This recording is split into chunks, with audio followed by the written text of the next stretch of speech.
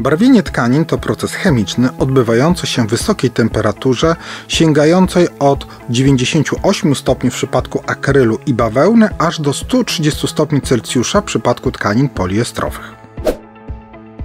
Oczyszczona tkanina umieszczona jest w kotłach, gdzie odbywa się tak zwana kąpiel barwiarska, polegająca na namaczaniu tkaniny w roztworze barwiącym, przygotowanym na podstawie ściśle określonych receptur, gwarantujących stałość koloru kolejnych partii produkcyjnych.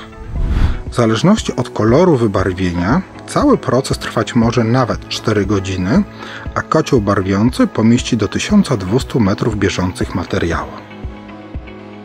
Równie istotnym, co samo barwienie etapem jest dokładne wypłukanie tkaniny z resztek barwnika oraz dokładne suszenie.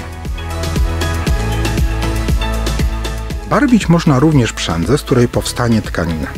Takie rozwiązanie stosuje się w przypadku tkanin wielobarwnych utkanych z przędzy w różnych kolorach.